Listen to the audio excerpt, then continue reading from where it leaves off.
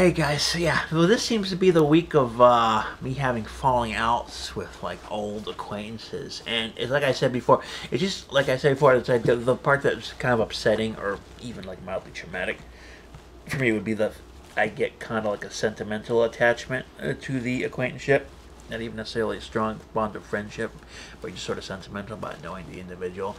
Uh, you know, but as far as like what Kurt goes, I don't really as far as I'm concerned, that that that that was over. In fact, I don't think it was ever really a true friendship at all, considering how, you know, how how how how, how mean he was to me. He would obviously get worked up by this idiotic show, which I, as I said, is already a, a terrible, uh, egregious violation of, of my of my my, my, my privacy and, and, my rights in the first place and him like like using it getting worked up by it and, and like treating me meanly it's just I just I just don't need that, and so I really don't I don't miss him now that, that he's gone, and I, am doing just fine without his childishness.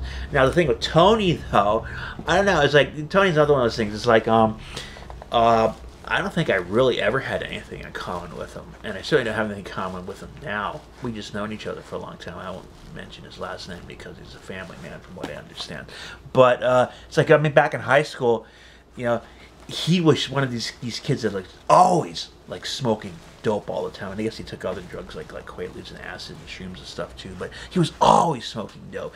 And I just like I just smoked dope like once in a while. I never dope was uh, I never got really into into marijuana though. It's always been a once in a while thing for me. But he was one of these people like the, the marijuana was his total. It was this defining thing about his existence. Was was was was. Matter of fact, I heard. I think went to Walter Reed Junior High School. I went to Sun Valley, but I heard that he got arrested for drugs. I think it was junior high school, maybe it was high school. I don't know, but he got arrested for drugs. And while the police were taking him away in handcuffs, he he says to the the gathered crowd of students, drugs, people. So I guess he felt he was kind of a Scarlet Pimpernel of, of the marijuana subculture or something. I don't know. It's kind of like kind of like working class stoner hero or something like that.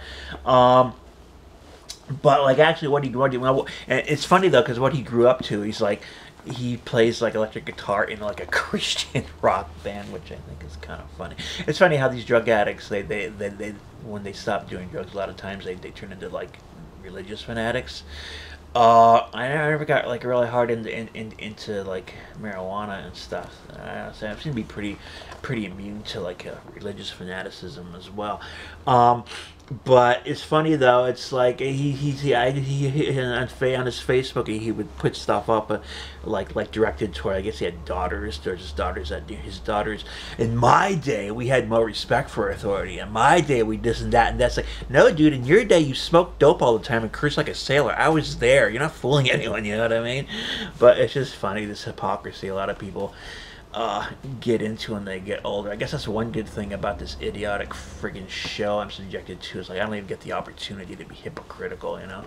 I pretty much uh, have like every stupid insignificant mistake I ever made like trailing behind me like uh, like those those those uh, coffers that, that, that are attached to, to, to Dickens' ghosts in a Christmas Carol or something.